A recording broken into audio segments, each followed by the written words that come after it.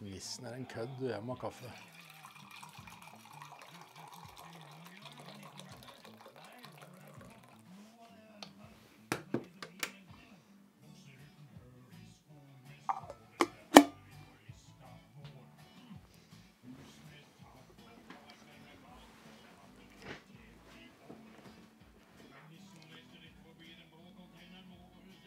Velkommen til mine fiskefluer i Bluesman-caven igjen. Skål.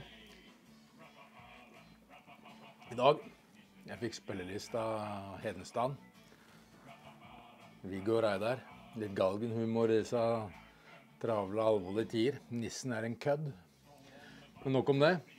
Nå skal vi begynne morgennatta. En komparadønn. Jeg bruker jo vanlig parachute, som dere ser bildet nede nå. Men en comparadon er også viktig å ha. Ha comparadon både i, med CDC og med rådyr. Men krok Arex 502 14. Haler. Fausk bucktail. Viktig å ha. Og materiallista. Se nede nå, der ligger materialene og linker. Ok, da kommer vi så langt. Bindetråd og kropp. Det er Unitred Dark Brown. Den skal bruke både på kroppen og huet. Ribbinga er Unitred Rust Brown. Sånn. Dubbing Flyright. Choco Brown. Det er nummer seks. Viktig. Og så er det naturlig små CDC-fjær. Stort sett tre Spørs litt på fyldigheten, men tre fjær i vengen. Sånn. Det er alt. Og ja, jeg har begynt på en kliss ny flueboks som jeg skal uh, lage alt av nye døgnfluer i vinter. Skal jeg ha en egen boks til døgnfluene igjen.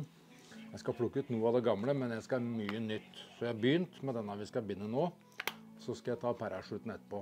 Så det er litt artig å bygge opp helt ny boks hver vinter. Det blir jo litt elv i år, så det, nei, neste år, så det er bare kult. Sånn. Er det noe mer vi har glemt da, Solberg? Ja. Jeg fikk en ny saks i går. En kopter. Den er svinskarp. Han tar eh, Kan se nede nå. Nanosilk 18 0 helikoptersaks. Oi. Det er ikke så ofte. Uh. Den funker som bare faen. Nanosilken er bare Sånn har jeg god trua på. Så den skal teste framover nå. Sånn. Eh, jeg har jo film ute. Det ligger jo ute av den parasjuttmarginata eh, min. Og der sier jeg jo litt om åssen flua oppfører seg sånn. Det er jo ikke mye friklekking i marginataverdenen, eller mye døgnfluene. Så spent spinner lager jeg heller ikke. Jeg lager som sagt denne her med rådyr og CDC. Og så har jeg med vanlig parachute. Og funker ikke det, så pælmer vi utpå en Leatherman. Ok? Da surrer vi flue. Ok, da setter vi i gang. Da tar vi mørkbrun unitred. Så drar vi ut litt tråd. Sånn. Kort innpå igjen. Jeg glemte å si eh, 4. januar så har jeg foredraget mitt 'Fluefisk på stillevann' i Sandnes. Og 12. januar så har jeg foredraget 'Mine fiskefluer' på nordisk fiskestur på Lysaker. Så ta gjerne turen, folkens. Så tar vi voksen vår. Der. Så sneller vi dette inn igjen. Der. Så begynner vi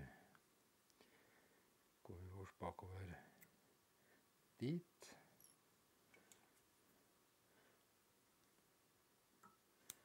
Sånn. Og så fram dit cirka. Nå Har jeg plukka ut tre litt fyldig fine CDC-fjær som jeg skal legge anføttet så fint her. En der. Sånn. Så tar vi deg. Der. Der ser vi. Og så bytter vi han der. Og så koser vi litt med dem, så vi får dem likt. Så ser vi. Ja.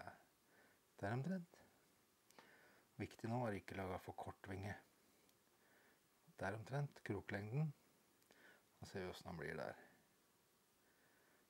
Får han til å bre seg litt. Nei, den ble for kort. Der. Sånn, så får han til å bre seg litt godt rundt. Se, den ser han litt rundt. Den ser han litt rundt. Sånn. Så strammer jeg opp bakover litt. Der. Og så løfter jeg den opp. Der omtrent. Så legger jeg inn en innsats oppunder her. Sånn. Da står den fint. Bikker den litt framover. Får male fibra. Der. Så hardt, hardt, hardt, hardt. Så den. Den er skarp som fy. Sånn. Søpla med deg. Da ser vi. Ja, den tror jeg blei grei. Dytter den litt fram. Så binder jeg meg ned her, så vi får en fin tappering. Den blir bra, den der. Ja. Happy. Sånn. Så tar vi tre halve tråder. En Bucktail. To Fux Bucktail. Får vi dem likt. Der ligger to likt. Så tar vi nummer tre og drar deg ned der. Sånn. Der. Det er én litt lenger enn den andre. Da er det bare å finne ut hvem det er. Det var feil. Da drar vi litt i deg. Sånn. Så drar vi litt i Sånn er den ikke gjør ordentlig med en gang. Der, der. Der har vi dem så noenlunde riktig. Så der omtrent. Skifter jeg tak der. Legger den inn der på toppen. Så ser jeg at det ble sånn passe. Ja.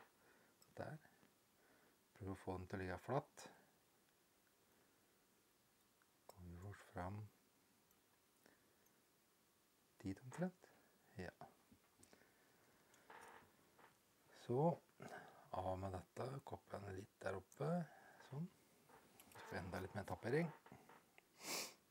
Spinner tråden min litt. Løfter opp den.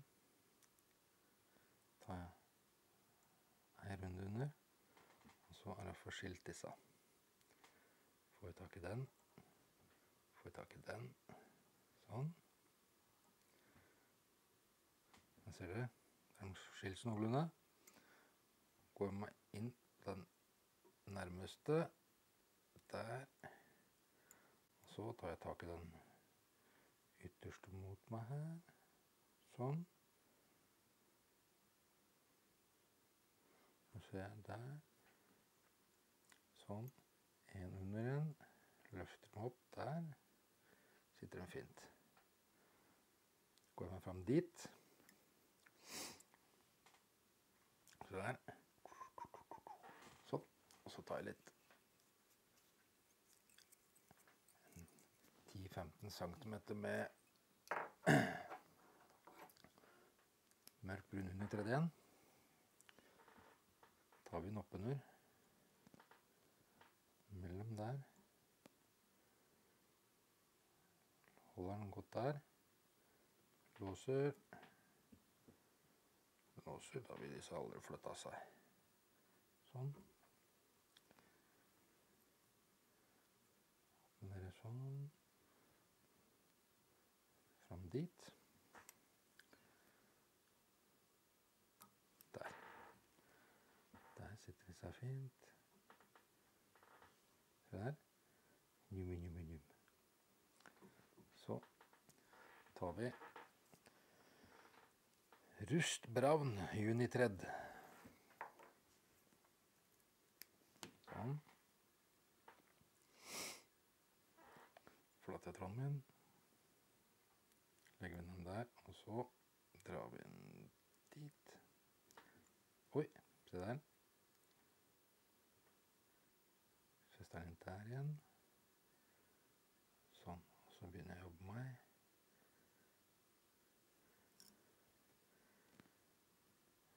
bakover.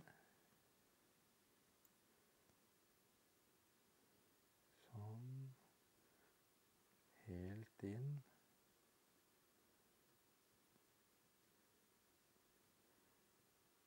Der begynner de å samle seg. Sånn. Forsiktig fram. Pass på tuppen på spissen på kroken.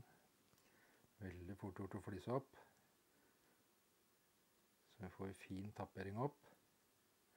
Han er jo ganske tjukk i stumpen, denne margenataen.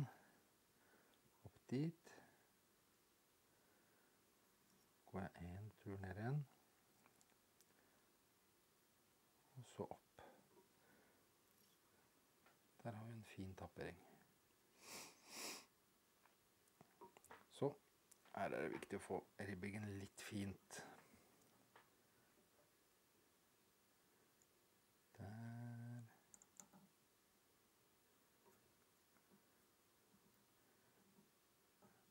Ferdig ribba så ser jeg over at de ligger sånn noenlunde likt. Der. Sånn. Der. Der. Sånn. Inn der. Feste. Så bare se. Den ble grei. Hva med deg? Sånn, da skal dette sitte for så vidt rett. Om det ikke er helt 100, så spiller det ingen rolle. Sånn. Da er det dubbinga igjen. Og det er viktig å få den litt dubba frampå, så vi får trøkken litt bakover. Da har jeg fluffa opp litt sjokolade-flyright. Sånn. Tar vi litt av gangen. Vi skal ikke ha dette som noe klumpe, klumpekropp. Dit, innunder der, inn der, en til. En til der. Sånn, så ser jeg at jeg må ha litt grann til.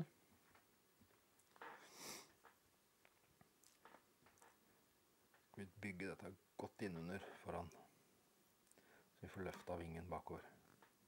Sånn. Sånn, sånn, sånn, sånn, sånn. sånn. Fukte fingrene på den. Der. Se at den er fin under. Så holder jeg alt bakover. Så bygger jeg meg helt oppunder dere. Stram opp litt. Der, og så fram.